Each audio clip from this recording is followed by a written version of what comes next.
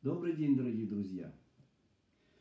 А, пришло время нашему уроку, и потихонечку вот э, всякий раз убеждаемся, что интернет работает, что люди какие-то будут присоединяться, поэтому вначале какие-то общие слова, наверное. Ну вот, наступил новый месяц у нас, месяц Хишван. Вот, появился солдат косо смотрит. Ну, значит, вот есть. Значит, если будут какие-то проблемы, связанные со звуками или еще э, с чем-то, вы мне напишите здесь, я буду вот это все отслеживать. Я вот поставил, микрофончик у меня какой-то есть здесь. Значит, все должно быть слышно. Значит, наступил новый месяц, а, Хишван, мы еще его называем Мар Хишван, Горький Хишван. Ни одного праздника у нас не будет в этом месяце.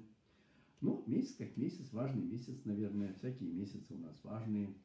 А вот, э, закончились э, праздники наши большие, поэтому будет какая-то пауза. А мы начали вновь э, годичный цикл чтения Тары. Вот в эту субботу уже будет вторая глава, глава Ноах, Ной, глава очень интересная. Глава, в которой описаны две очень серьезные катастрофы.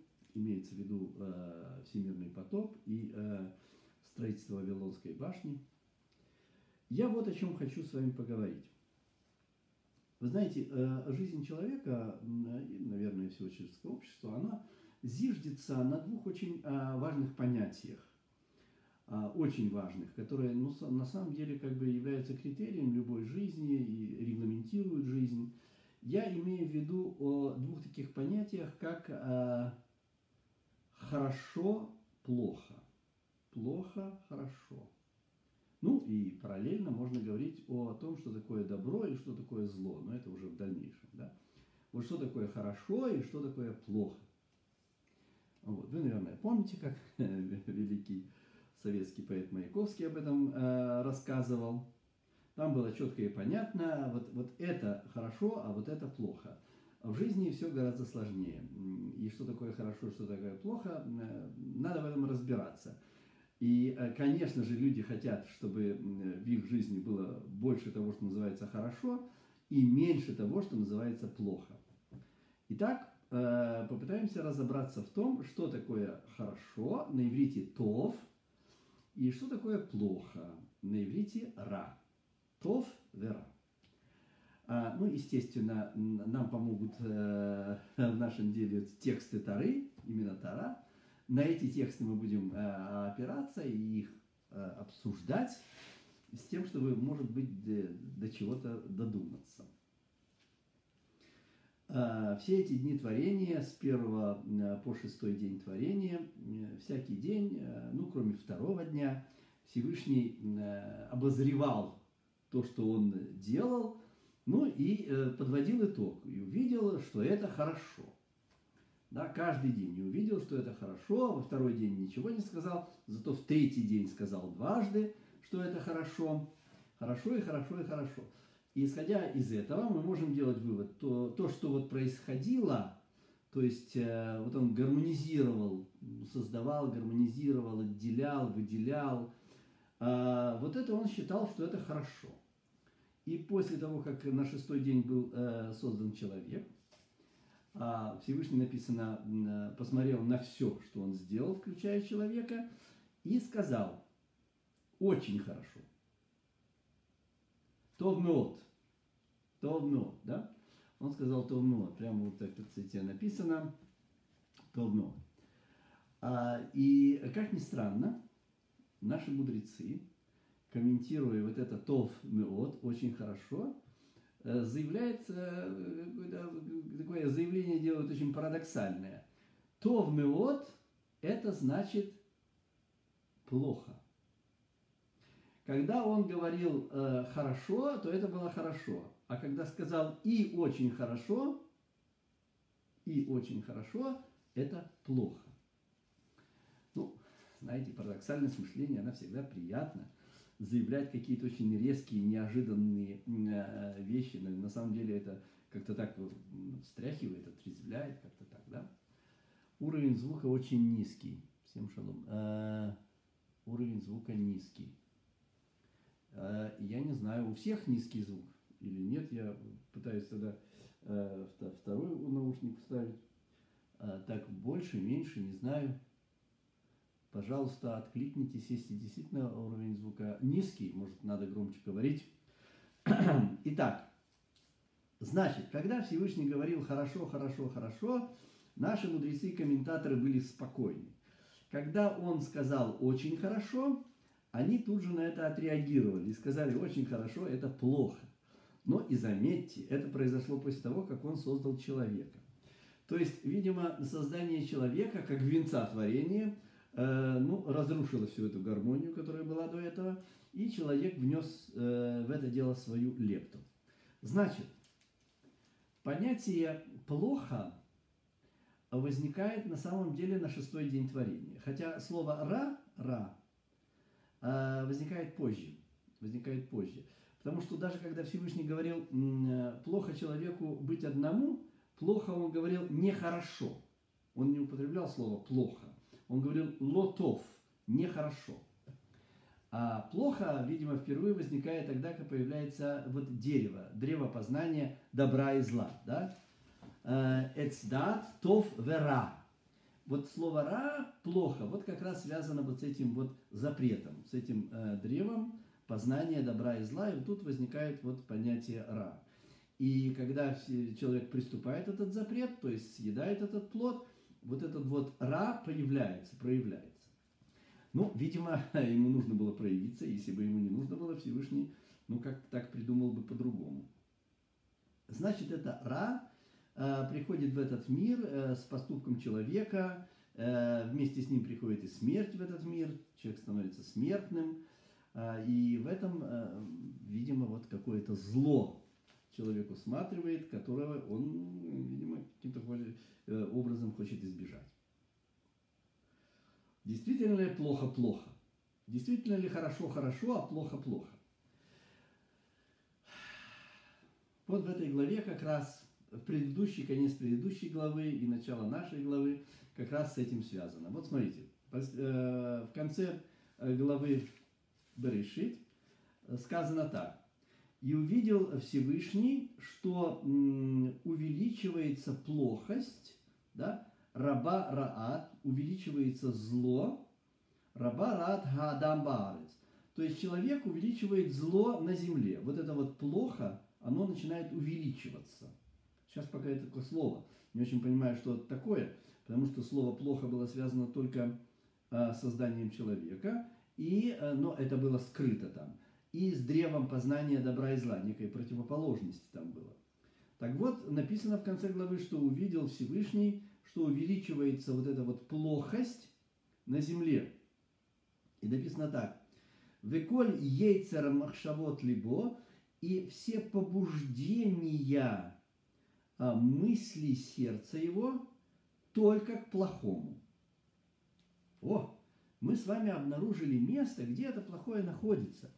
То есть, если раньше плохое было вот э, в древе познания добра и зла, вот там было плохое с хорошим – то теперь мы говорим, что плохое – это а, мысли сердца. Вот есть э, махшавот либо, то есть мысли сердца его. И там находится вот это вот ра.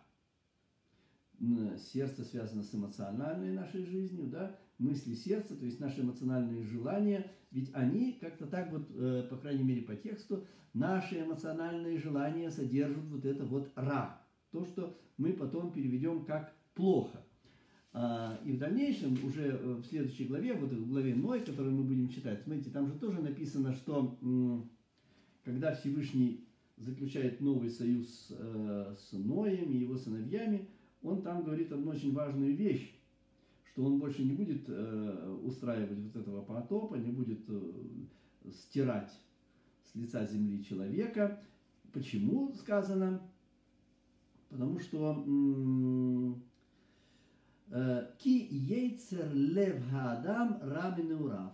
Потому что ейцер, желание сердца человека, а, плохое вот, ну, с малолетства. Ну, кто-то с рождения говорит, кто-то с э, периода, кто-то вот э, с периода полового созревания и так далее. То есть, что э, на самом деле вот это вот место, которое было определено, место э, э, злого, место ра, это мысли сердца человека.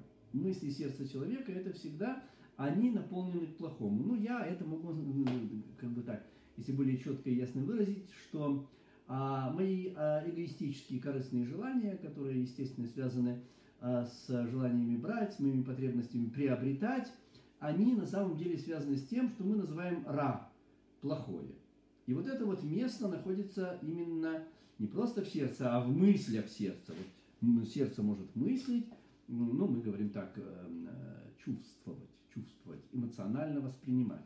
И вот это вот эмоциональное восприятие, оно и есть источник э, вот этого плохого. Плохо ли это? Наши мудрецы вообще сказали, что если бы не было бы вот этого дурного начала, то человек на самом деле э, ничего бы не создал. Э, детей бы не рожал, эм, э, дом не построил бы. То есть не было бы у него амбиций, ничего бы не появилось, он бы ничего не делал. Без амбиций ничего не делается. Значит, амбиции это хорошо. А другое дело, куда они направлены и к чему человек стремится, какие он цели перед собой ставит. Но амбиции сами по себе это, наверное, здорово. Поэтому а, вот этот самый Ецерара, а, плохо ли это? Или хорошо ли это? Или это такое оружие, которое в силу того, как ты его используешь, может быть направлено как в одну сторону, так и в другую. А то, что хорошее, это всегда хорошо, оно не может в плохую сторону быть направлено. Мне кажется, что понятия хорошо и плохо, они настолько пронизаны друг другом, они настолько проникают друг в друга, что вся проблема как раз в этом была, когда Всевышний сказал, не трогайте плоды древа познания добра и зла, ведь просто потому, что добро и зло там было перемешано, там было неясно, где добро, а где зло. И человек, съев этот плод, вот открыв этот ящик Пандоры, выпустив все это в перемешанном состоянии, просто не мог разобраться, что такое добро и что такое зло. Если бы четко и ясно нам сказали, вот это вот хорошо, это плохо. Вот как до шестого дня творения. Вот это было хорошо, хорошо, хорошо, хорошо. А в шестой день, шестой день творения возникает что-то, что называется ра, плохо. Оно перемешивается с тем, что называется хорошо, и мы не в состоянии это определить.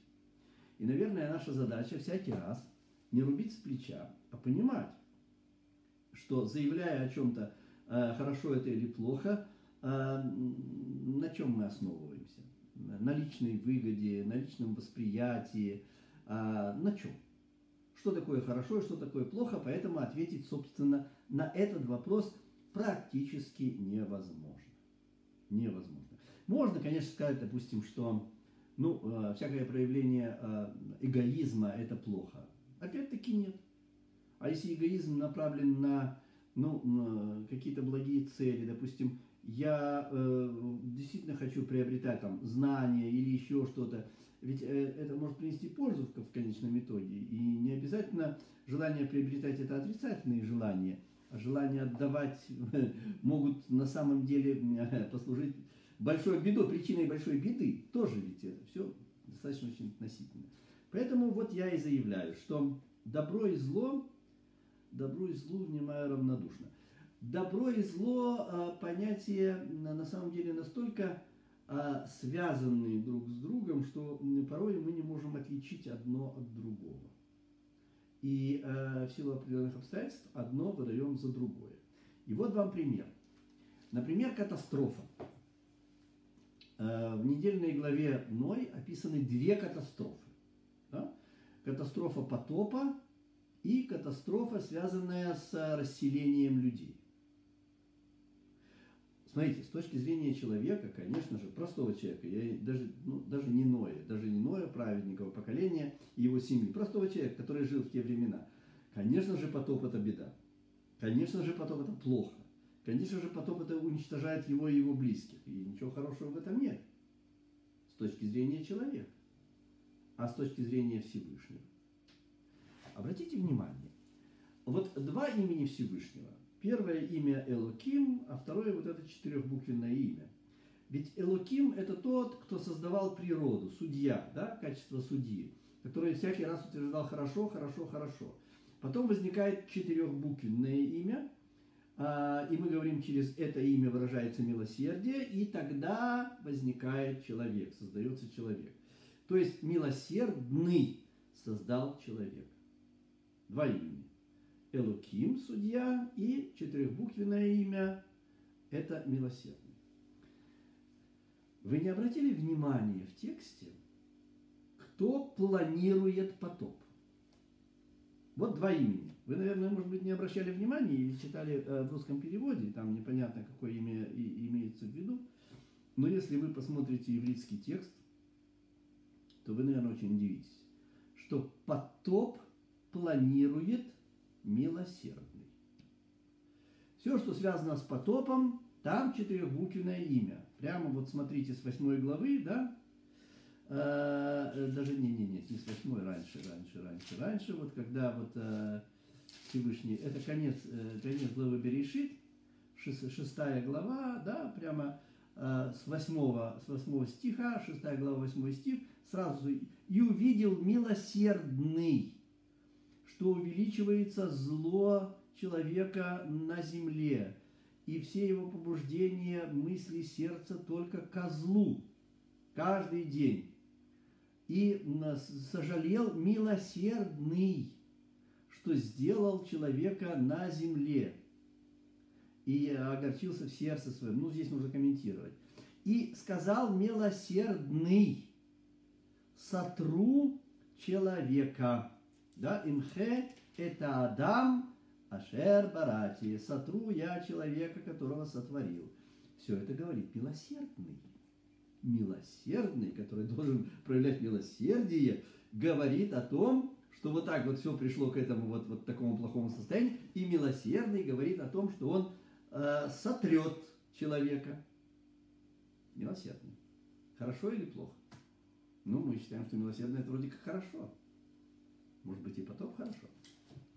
А кто исполняет все, если вы посмотрите главу Ной? С Ноем кто все время беседует? Практически все время с ним беседует Элоким. Практически все время с ним разговаривает судья. И потоп наводит судья. Все судья. И э, новый, новый союз заключает судья. Там один раз только упоминается имя милосердного, когда Ной э, приносит жертвоприношение, и э, вот этот вот э, Всевышний э, ощущает их. И там возникает четырехбуквенное имя милосердного. А так, все время судья. Получается, что милосердный замыслил потоп а судья его реализует. А дальше возьмите вторую катастрофу. А, люди собрались, чтобы построить город и башню. И кто рушит их планы, кто разрушает их планы? Судья или милосердный? Милосердный. Милосердный разрушает их планы. Получается очень странно, что а, Всевышний под именем Милосердный, четырехбуквенным именем, проявляется как судья – ну, правда, мы и утверждаем, что э, милосердный он судья, милосердный он судья, мы об этом говорим на исходе э, праздника Йома Кипурим. А, но в данном случае все-таки интересно. Мы же говорим о добре и зле. Значит, мы говорим, что катастрофа – это, наверное, зло, по крайней мере, для человека, но она планируется милосердным, то есть тот, кто должен защищать человека. Люди собрались все вместе, совершенно замечательно, живут одной дружной семьей, один язык у них, у них они вот задумали нечто грандиозное. Кто их расселяет по всей земле? Милосердный, не судья. Милосердный, как бы с нашей точки зрения, поступает не по-доброму, по злому. вот этот парадокс, и, и его нельзя пропускать. Потом следующее, вы же понимаете, что Всевышний ведь все известно изначально – ведь э, это же не новость, вот он говорит, и, и увидел Всевышний, что э, испортился человек, и зло стало увеличиваться, и прочее, и прочее. И что, для Всевышнего это был секрет? Он до этого не, не знал, что так будет. Если для Всевышнего что-то неизвестное, конечно же нет. Он же все заранее знает, да? Значит, э, я могу рассматривать эти катастрофы для человека как некий план действия для Всевышнего. У Всевышнего это был план действия. И он, я думаю, абсолютно не связан с тем, чтобы наказывать или награждать. Это не то, что вот Всевышний не знал, потом ахнул, увидел, ахнул и решил наказать. Нет, конечно же, это не так. Все это было в замысле, и э, так называемая катастрофа так называемого потопа и расселения, это были замыслы, которые формируют, формируют человека и человеческое общество. Знаете, как интересно? Ведь чего начинается, собственно, сотворение всего? А, создание семьи. Заметили, да? Потому что когда Всевышний увидел, что Адам один, он сказал, плохо человеку быть одному, и сделал ему Эзер Кенигдо, помощник э, против него. Сначала это были животные, которые не оказались помощниками, потом это оказался, а, оказалась женщина. Ну и написано, а, создал человека, мужчину и женщину создал их. То есть вот человек это и есть мужчина и женщина. это начало семьи. И сказано, что вот мужчина должен прилепиться к женщине и так далее. И э, станут они одной плотью, и э, будут порождения, и будут порождения. И, собственно, вот это вот есть, э, видимо, замысел Творца, потому что он, он, он сделал. Да? Он создал человека, создал семью, семью как основу. И вот эта семья увеличивалась, увеличивалась, увеличивалась. Э, и смотрите, к чему она пришла к моменту, что а, стало бы больше женщин написано на земле, чем ну, девушек, чем мужчин, и появились а, сыновья великих, имеется в виду сыновья правителей, и они брали себе в жены кого хотели, то есть они на самом-то деле стали разрушать семью, да? они стали идти против семьи. А, если же женщина находится с кем-то в каком-то союзе, она становится запрещенной другому мужчине, но для этих людей, видимо, для сынов великих, этого запрета не существовало, и они брали кого хотели.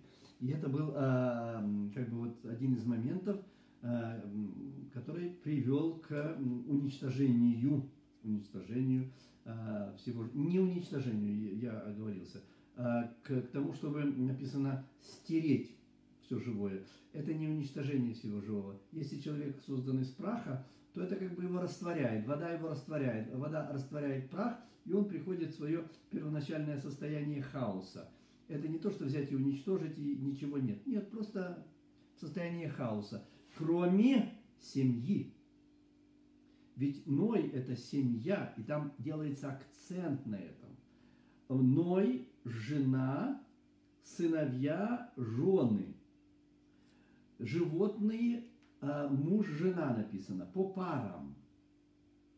Очень важен вход и выход, как они заходили, как они выходили и из этого ковчега. Потому что во время этого плавания годичного у них не было супружеских отношений, практически они были запрещены. Поэтому входили сначала мужчины, потом входили женщины. А вот уже выходить, Всевышний им разрешил уже выходить по парам. Лот, жена, сыновья с женами хотя они тоже вышли сначала мужчины, потом женщины. То есть на самом-то деле вопрос стоял э, в том, что нужно было создать семью. И вот сейчас я вам э, выскажу свою точку зрения, почему э, вот необходимо было устроить вот это вот стирание людей. Была выбрана вот такая вот семья, да, а, а все остальное было стерто. Что было перед потопом? Ведь когда на животные спариваются, они спариваются по виду своему и в определенный момент. А, животные не спариваются в любое время а, там, года. Нет, есть определенный момент, когда у них это происходит. А у человека это происходит всегда, нет какого-то определенного момента, и э, там не написано бемино, по виду его. То есть человек может нарушить вот этот запрет вида – и может спариваться не только себе подобными. А, и, и могут быть э, гомосексуальные браки, не только гетеросексуальные браки. А, поэтому у человека это расширяется.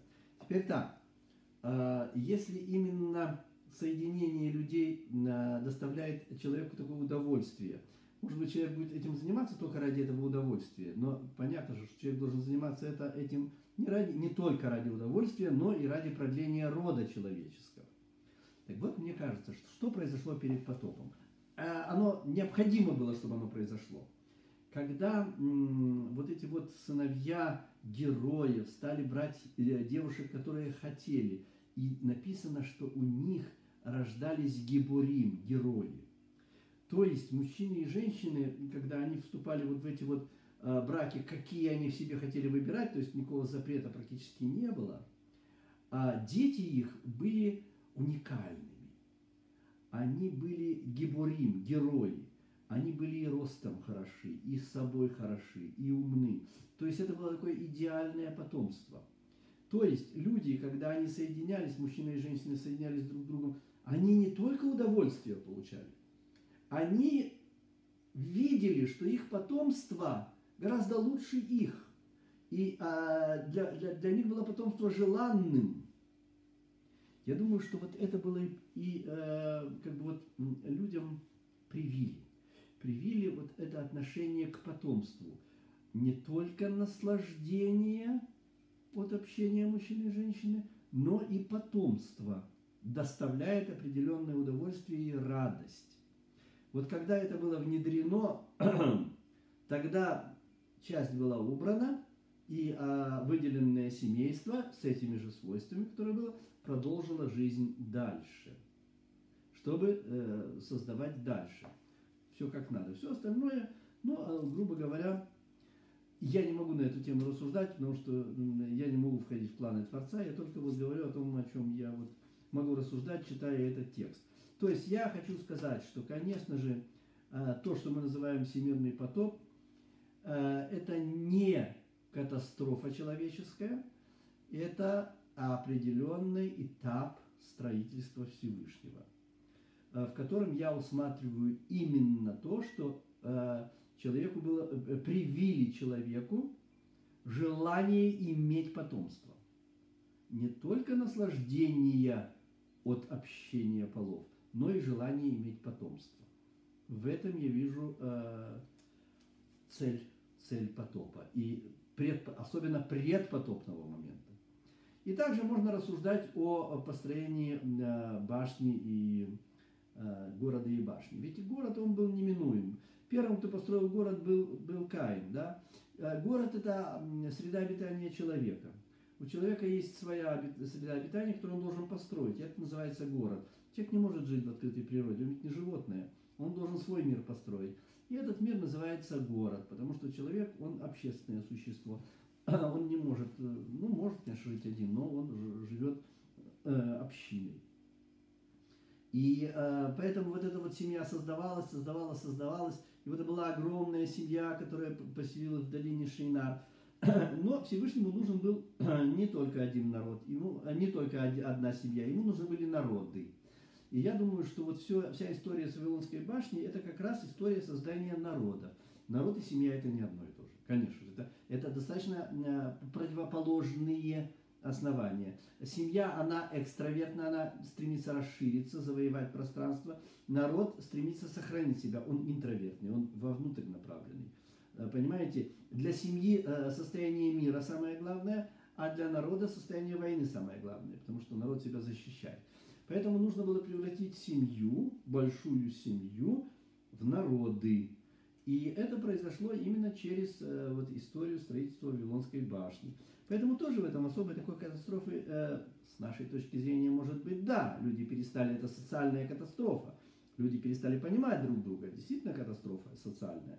Но с точки зрения творения и дальнейших этапов развития, это было необходимо. То есть сначала создали семью, она была огромной, потом из нее сделали народы, и чем заканчивается э, глава 0? Снова Всевышний переходит к семье. Теперь эта семья уникальная, Авраам, ну, Терах, Авраам и так далее, она даст начало народу, который сохранит себе статус семьи. Если мы говорили, что семья – это экстравертное, это мир, это расширение – а народ это интровертное, это замыкание, это состояние войны, то та семья, которая возникнет в дальнейшем, да, а, от Авраама и будет в дальнейшем называться еврейским народом, оно э, заключает в себе два начала. Оно и семья, и народ. И экстравертное, и, и интровертное. Наверное, поэтому уникальная роль этой семьи народа, которая может впускать в себя э, других людей, они тоже становятся частью этой семьи, в том, чтобы э, все народы на самом-то деле превратить э, обратно в семью. И тогда перекуются мечи на орала. Э, совершенно невероятная вещь, потому что для народов свойственна война, да? а для семьи свойственен мир. Поэтому перековать мечи на орала, то есть меч на плуг, это превратить народ обратно в семью. Поэтому всякий раз, э, читая тот или иной текст старый, не нужно огульно тут же просто э, с нашей человеческой точки зрения и с нашей логикой обсуждать то, что на самом деле в Таре немножко не так. Начиная с того, что такое хорошо, что такое плохо, большой вопрос. И не надо сразу отвечать и думать, что мы ответили правильно. И по поводу того, является то или иное действие Всевышнего катастрофой, э, и не является ли оно плановым действием. Я думаю, что все, что написано Таре, и то, что замыслено и совершено Всевышним, это его плановые действия. Для него нет особых новостей, он все знает наперед. Но вот такие вот, может быть, немножечко сумбурные мысли э, во мне возникли, читая вот эти две главы, э, первую и вторую. Ну, вот я с вами поделился. И, наверное, не для того, чтобы чему-то вас научить, наверное, не поэтому, не для этого. Просто для того, чтобы подтолкнуть вас к рассуждениям, чтобы вы начали над этим думать, размышлять и тоже может быть, вот э, делали свои какие-то открытия. Всего хорошего, шаббат шалом, ну и удачи, удачи.